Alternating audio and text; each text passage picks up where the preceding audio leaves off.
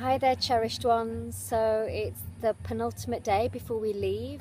It's been amazing. We've done this incredible partner yoga class um, uh, and did some children's yoga training, which was so much fun. I really look forward to sharing that with the world. Um, uh, we did some sacred dance, belly dancing, um, and just a really beautiful um, circle where we were supposed to sit down for meditation and someone got the giggles and it just continued for about 15 minutes um, and we're all in a circle holding hands very hippified but very very moving very a real sense of connection with my sisters that I've shared this incredible journey with um, it's been amazing here at this Osho retreat. They're, they're doing a meditation. You might be able to hear some drums.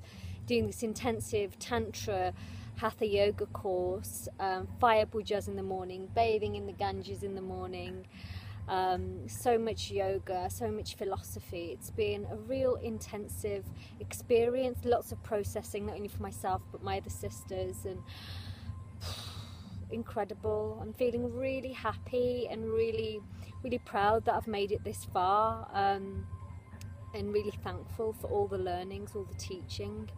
Um, tomorrow we have having our graduation ceremony, um, and so I'm looking forward to that. I've, yeah, I, I, invite you to think about things you're proud of because right now I feel yeah quite proud of myself for, for being here and sticking it through. Um, and really happy. Thank you so much again for sharing this journey with me and wishing you all so much love.